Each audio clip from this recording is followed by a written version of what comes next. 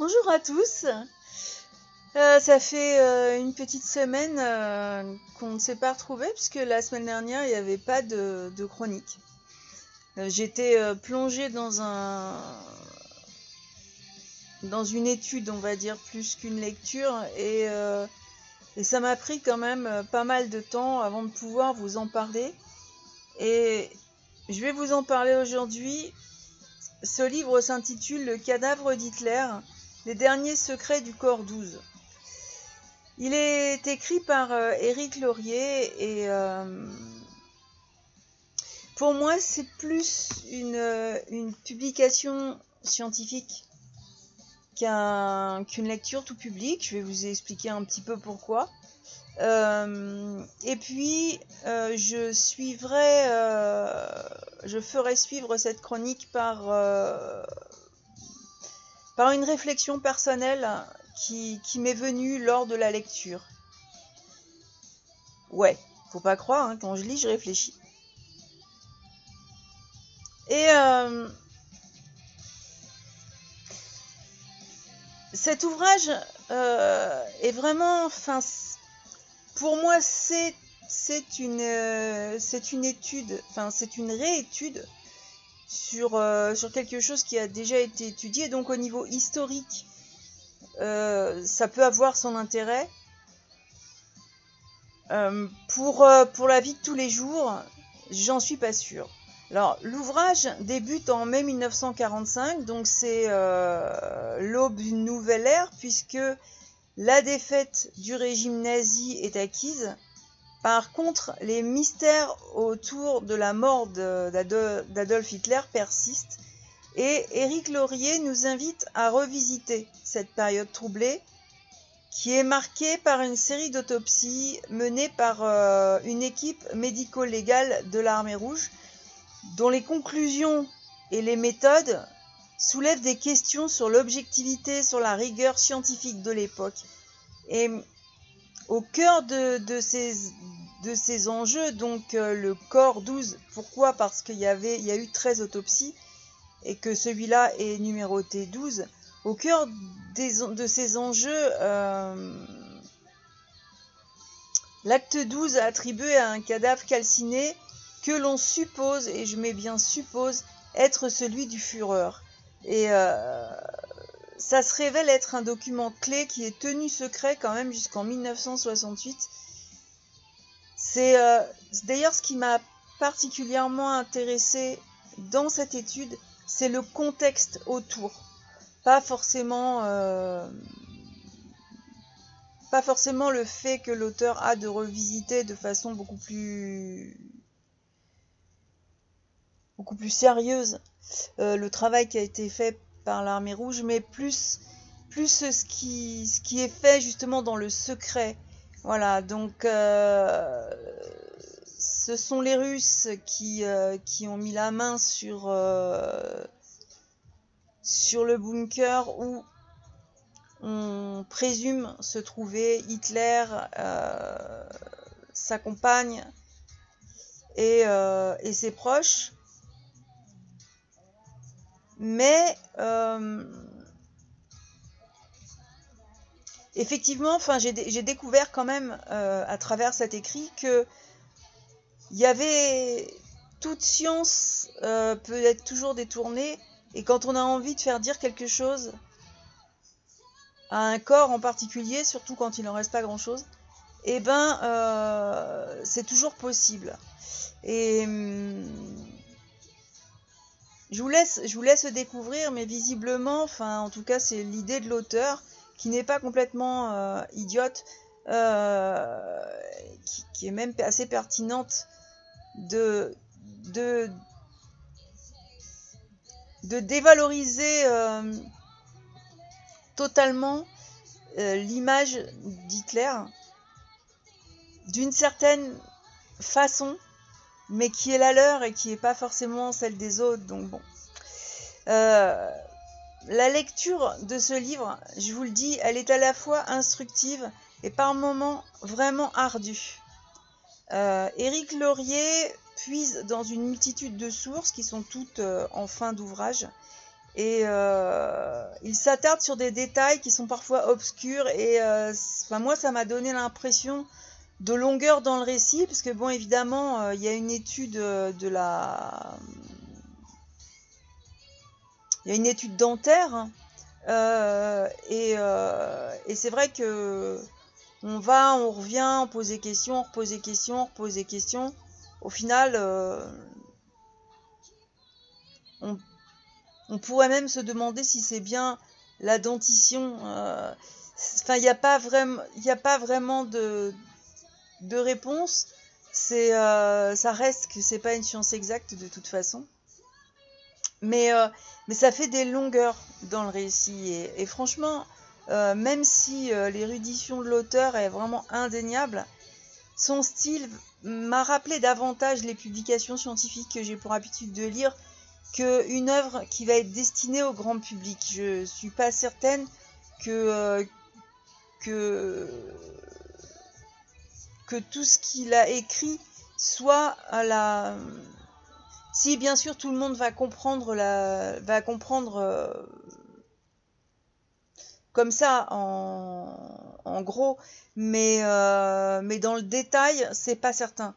Donc bon, les lecteurs qui vont s'investir dans ce texte vont être préparés à une approche qui privilégie l'exactitude historique et euh, il n'y a pas d'immédiateté narrative quoi. Vous attendez pas une histoire, une énième histoire sur euh, sur le Reich. C'est pas du tout ça. C'est vraiment, euh, on est dans, dans, la science et dans l'exactitude historique, qui n'est pas forcément toujours exact, bien sûr. Et à travers son analyse, Éric Laurier ne se contente pas de relater les événements. Il éclaire les nombreuses zones d'ombre justement qui subsistent autour des dépouilles de dignitaires nazis et il offre un regard assez critique sur la méthode, enfin plus que critique d'ailleurs, sur la méthode qui est adoptée par les enquêteurs soviétiques. Donc euh, l'auteur va retracer les conditions délicates dans lesquelles les légistes ont réalisé leurs examens. Il évoque les pressions politiques, les contradictions aussi qui ont pu influencer leurs conclusions. Pas oublier que euh, c'est quand même encore Staline qui est, au pouvoir à cette époque-là. Euh, et, cette attention portée au contexte historique enrichit la réflexion, attise aussi la curiosité, mais elle risque quand même de rebuter certains lecteurs qui sont en quête d'un récit qui soit captivant. C'est, je veux dire, je, vais vous, vais vous couper tout de suite. C'est pas ça. Si vous êtes, euh, si vous êtes curieux d'histoire, ça va vous intéresser. Si vous cherchez une aventure, pas du tout. Parce que ça n'en est pas une. Et si vous cherchez une aventure, c'est même plutôt malsain de lire ce bouquin, je vous le dis. Donc, mais euh, de mon point de vue, si le livre soulève des questions pertinentes sur autant l'enterrement de la mémoire d'Hitler et sur la manière dont des vestiges de son corps pourraient fonctionner comme des symboles d'une espèce d'immortalité néfaste, eh bien, il laisse aussi une impression d'inachevé. Donc ça fait, beaucoup de choses. Et, euh, et, après avoir examiné les différentes pistes, témoignages, Éric Laurier ne parvient pas vraiment à lever le voile sur le mystère, euh, ce qui peut être frustrant pour euh, quelqu'un qui aime la certitude. Au final, le sujet du livre est vraiment captivant, mais pour moi, il met en lumière un problème bien plus vaste. C'est la façon dont l'histoire s'écrit, se réécrit et parfois ne parvient pas à se refermer. Et euh, on est aujourd'hui en 2024, donc 1900, euh, les, années 40 sont quand même loin. Euh, je pense que si on se pose la question de si Hitler est mort aujourd'hui, bon, mis à part s'il a trouvé la source de jouvence, ben là, définitivement, de son grand âge, il y a une forte probabilité probabilité qui qui soit plus de ce monde. Et, euh, je crois que quand on cherche des pistes comme ça sur des trop longues durées on finit par euh, ben, par piétiner les traces et par les perdre. Et c'est quelque peu dommage. Euh, je vais développer après euh, ce que m'a évoqué aussi euh, ce sujet. Mais le cadavre d'Hitler, c'est un ouvrage qui nécessite vraiment une certaine dose de patience. Après, vous serez vraiment récompensé par, parce qu'il y a, y a une, une, réflexion qui est très approfondie sur les mécanismes de la mémoire collective et, et les résidus d'un passé tumultueux. En fait, je pense que ce passé nous hante et que c'est pour ça que qu'il est toujours euh, présent. Donc en nous confrontant à l'histoire d'un homme dont l'ombre perdure, Éric Laurier nous incite quand même à nous interroger sur l'héritage des figures controversées et, euh, la manière dont elles continuent d'habiter notre imaginaire. Et euh, cette dualité entre savoir historique et mystère invite vraiment à une réflexion nécessaire sur la manière dont les récits font encore vibrer notre présent. Euh, ce bouquin sort le 10 septembre 2024 euh, aux éditions Execo. Il fait 216 pages, alors et puis il y a des annexes, vous allez voir, c'est euh, vrai que c'est relativement intéressant du point de vue de du point de vue historique. L'auteur est lui-même médecin légiste et diplômé d'études approfondies de préhistoire, euh, ethnologie, anthropologie, expert judiciaire et il dirige l'unité médico-légale du CH de Valenciennes. Il est chargé d'enseignement à l'université de Lille et à l'université polytechnique des Hauts-de-France. C'est quelqu'un qui euh, est bien occupé. et euh, que je remercie pour m'avoir euh, proposé euh, la lecture de, de, cette, de cette œuvre en, avant-première. Je ne vais pas euh, vous dévoiler, donc c'est vrai que je, je, vous ai vraiment parlé des grandes lignes de ce livre et de, de ce qui de ce qu'il en ressort pour moi, parce que parce qu'il dévoile euh, certaines choses qui sont quand même intéressantes et puis si je vous les donne, il n'y a plus aucun intérêt à lire ce bouquin. Donc euh, voilà, je vous ai un peu donné euh, le public, les thèmes, à vous de savoir si vous avez envie de découvrir ou pas. En tout cas, moi, j'étais pas, enfin, c'est vrai que je, je suis passionnée par l'histoire et pourquoi? Parce que pour moi, l'histoire est une mémoire et que euh, comprendre notre histoire devrait nous éviter de recommencer toujours les mêmes conneries. Alors là, c'est pas pas non plus euh, quelque chose d'exact hein, parce que euh, ben, j'ai l'impression que si justement l'histoire tourne en rond, alors bon, on n'a peut-être pas la bonne façon de l'enseigner, peut-être pas la bonne façon de fixer dans les mémoires, j'en sais rien. Mais euh, quand, euh, quand j'ai avancé dans ma lecture, surtout quand on a parlé de, des dents là, euh, qui se base en plus sur, sur une mémoire, sur des dessins, donc c'est pas, pas une radio, c'est pas, pas quelque chose qui,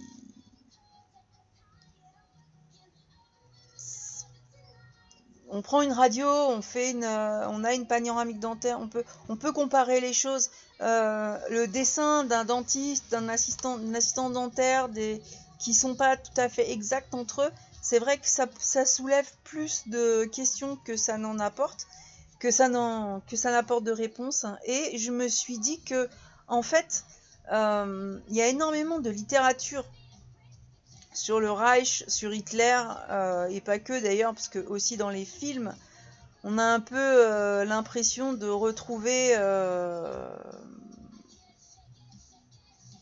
l'Indochine pour les Américains. Et mais par contre,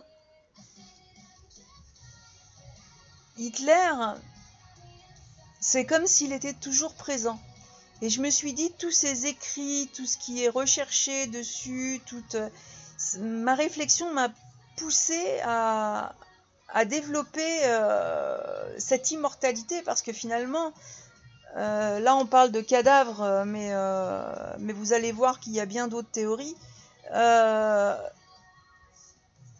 est-ce qu'est-ce que ça, ça peut provoquer d'avoir toujours de nombreux écrits sur, euh, sur cette question qui n'est plus d'actualité et, euh, et, de maintenir euh, l'immortalité du mal quelque part. Parce que l'immortalité d'Hitler, au sens où son nom, son image, son, son idéologie, continue de hanter le discours public, l'imaginaire collectif, porte des conséquences multiples et complexes. Et pour moi, ça mérite d'être examiné. La façon dont la mémoire d'Hitler persiste dans le temps, elle résonne tant sur le plan historique que culturel, mais aussi euh, sociopolitique et psychologique. Donc je vais vous parler, je vais, développer ma thématique, parce que j'avais vraiment à développer plus que le bouquin, donc j'ai réduit. J'ai essayé de réduire, et euh, je vais vraiment vous, parler euh, en résumé. Par exemple, de l'héritage de l'idéologie nazie. C'est l'un des aspects les plus préoccupants à mon sens de l'immortalité d'Hitler. Ça réside dans la persistance de l'idéologie nazie. Ces, idées sur la race antisémitisme, sur la race, l'antisémitisme et le nationalisme extrême euh, continuent d'influencer des mouvements contemporains dans le monde entier et euh, les groupuscules néo-nazis certains cercles d'extrême droite et même des, idéologues modernes s'approprient et réinterprètent les concepts d'Hitler euh, qu'Hitler a véhiculés et ce parfois sous une forme très insidieuse. Et cette résurgence-là, moi, m'amène à réfléchir sur la fragilité des acquis en matière de droits de l'homme, de, tolérance. Euh, loin d'être reléguées aux pages des manuels d'histoire, ces idées peuvent, en période de crise sociale ou économique, trouver un écho troublant auprès des populations désenchantées et ça, ça rend les discours euh, d'exclusion plus attrayants. Faut pas oublier euh, la façon dont ce personnage est arrivé au, au pouvoir et ce qu'il a apporté aux Allemands. Donc la façon effectivement dont il a été vu dans un contexte socio-économique euh, qui faisait, enfin, où tout était, tout était réuni pour que, pour qu'on en arrive là quelque part. Parce que ce qu'il allait faire, il l'a écrit. Donc, euh, c'est vrai qu'il y a, euh, on en parle encore, on développe encore, on, on essaye d'en faire une analyse psychologique et je peut-être que, pour moi, ça va peut-être trop loin aujourd'hui. On en a des plus récents euh, qui sont tout aussi tarés et, euh, et qui soulèveraient éventuellement moins de mystère, je dirais. Alors j'ai relevé aussi la construction de mémoire collective, parce que la figure d'Hitler est souvent utilisée comme symbole par des narrateurs de mémoire collective. Donc d'un côté, il sert de point de référence pour évoquer le totalitarisme, la barbarie, les conséquences des politiques de haine, euh, donc agissant comme un avertissement nécessaire. Mais d'un autre côté, cette immortalité et cette surenchère symbolique, ça peut conduire à une forme de tautologie dans le discours historique où, où toute discussion sur les atrocités du siècle dernier semble inextricablement liée à sa figure. Euh, les récits concernant Hitler, ils peuvent aussi occulter d'autres histoires tout aussi importantes, c'est ce que je disais, comme celle des victimes de ces de ça, de ces politiques. Ça peut aussi mener à une vision totalement déséquilibrée du passé, où les souffrances des persécutés, euh, qui eux, euh, ben, soit sont morts à l'époque, les rescapés ben, de vieillesse disparaissent peu à peu, donc on ne fait pas autant de, mémoire. Hein, et euh, donc les souffrances des, persécutés, moi je les trouve minorées, tandis que l'image d'Hitler apparaît trop souvent comme un centre d'attention. C'est pas je pose pas quelque chose d'immuable, hein, c'est vraiment une, une, base de réflexion. Euh, parce que la culture populaire, elle a tendance à, donner une certaine banalité à ce mal. Et l'immortalité d'Hitler se manifeste également à travers une culture populaire. Donc il y a film, j'en ai déjà parlé, mais il y a film, littérature, alors jeux vidéo. Et euh, même sur, euh, sur Internet, euh, ça finit par traiter sa figure avec des nuances allant de l'horreur à un certain divertissement macabre. Et ça, c'est quelque chose qui, qui me dérange. Cette banalisation, elle peut avoir des conséquences vraiment négatives sur la manière dont, les nouvelles générations perçoivent l'Holocauste et la Seconde Guerre mondiale. Euh, ma génération a connu des survivants. Il faut savoir que les jeunes, donc ceux qui, ceux qui font, ceux qui font l'histoire aujourd'hui, euh, ne l'ont pas connu. Donc pour eux, c'est un autre monde. Comment est-ce que ça peut se répercuter? On est déjà dans un monde qui change énormément, trop vite. Et, euh, et cette culture de l'oubli ou, ou, paradoxalement de la surmédiatisation, ça peut rendre la réalité des atrocités vraiment moins impactante. Enfin, moi, en tout cas, c'est ce que je remarque. Et, euh, et quand on caricature, la, gravité d'une figure historique comme Hitler, on risque quand même de diluer la mémoire de ceux qui ont souffert en risquant de transformer l'histoire en un simple spectacle. Et euh, donc, est-ce est que réellement euh, notre soif de savoir euh, vaut ce sacrifice? Il y a aussi la terreur de l'oubli. Parce que l'obsession pour la figure d'Hitler nourrit une peur de l'oubli. C'est ce que je disais quand on a conscience de l'histoire. Euh, la vigilance face à la montée de l'extrémisme est indéniablement nécessaire, mais euh, l'insistance sur son image, ça peut également engendrer une culture de la méfiance et de l'anxiété où tout discours critique envers l'autoritarisme peut être étouffé par la peur d'être associé à son héritage, en disant là c'est différent. Je sais pas si je m'exprime clairement, mais euh, on va tellement porter des faits sur une personne que même si c'est des faits qui sont similaires, à partir du moment où c'est une autre personne,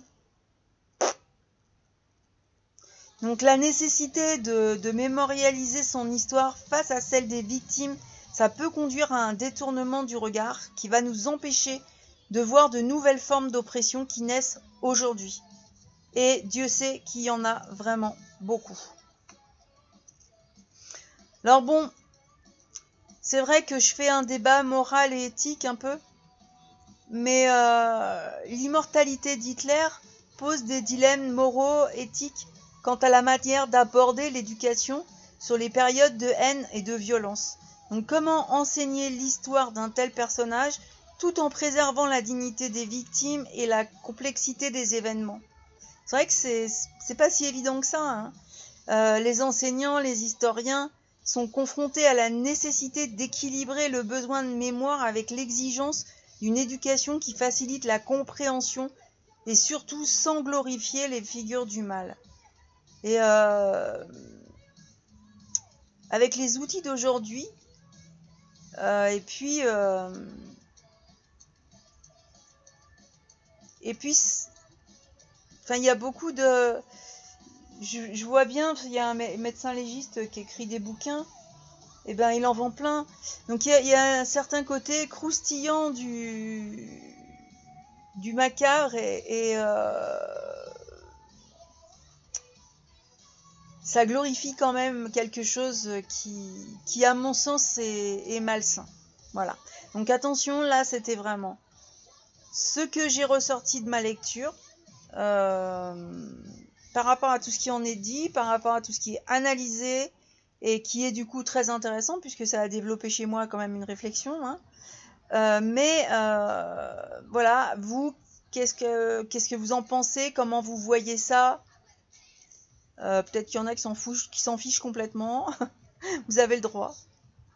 En tout cas, si je devais conclure, je dirais que l'immortalité d'Hitler ne se réduit pas à une simple question historico-légendaire. Elle stimule aussi un débat vivant qui, euh, la preuve d'ailleurs, qui engage de nombreux aspects de notre société actuelle. Et la figure d'Hitler, elle est loin d'être dépassée, elle continue d'exercer une influence tout en posant des questions vraiment euh, essentielles sur les fondements de notre mémoire collective, les enseignements du passé et euh, le défi de construire un avenir libre des idéologies de, haine et de rejet qui existent et euh, qui ont même tendance à devenir très prégnantes, je trouve.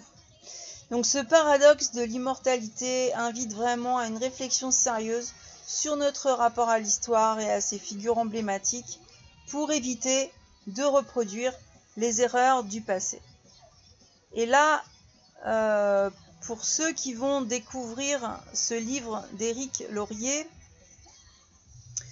ma conclusion, c'est que justement, il y a euh, énormément de, rigueur scientifique et donc de curiosité scientifique, euh, ce qui n'est pas une mauvaise chose. Par contre, ça donne vraiment une immortalité, ça donne aussi d'autres ouvertures, ça donne presque aussi, euh, ben, quand, on, quand on a envie de, savoir, ça donne envie d'aller piocher dans toutes les références que donne l'auteur pour, euh, pour aller retrouver euh, d'autres livres dont il parle, d'autres... et il y a un moment où il faut savoir mettre les choses à leur place, c'est-à-dire dans le passé, vraiment à leur place, savoir que ça s'est passé comme ça, qu'il y a eu énormément de victimes, que...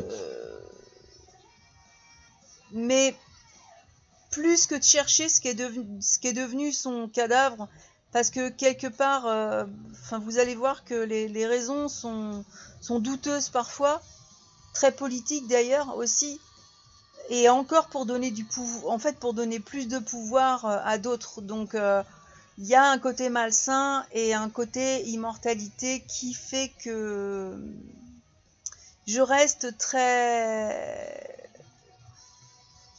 très mitigée sur cette lecture, même si j'ai appris beaucoup de choses et même si voilà donc tout a du bon, tout a du mauvais et il faut être capable toujours de de se recentrer, de, de, garder les pieds sur terre et, euh, et oui, de mettre les choses à leur place, de, de dire ça s'est passé comme ça, donc il faudra pas que ça se reproduise.